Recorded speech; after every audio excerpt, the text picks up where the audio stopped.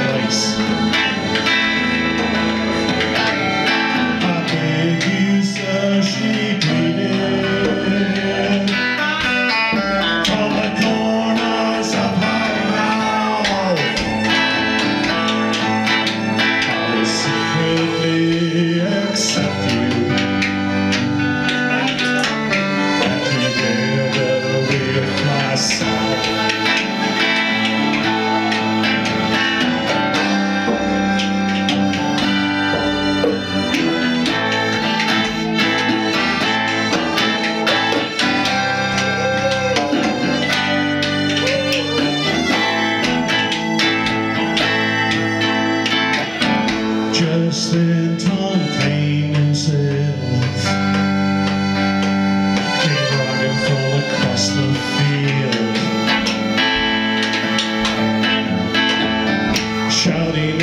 Lonely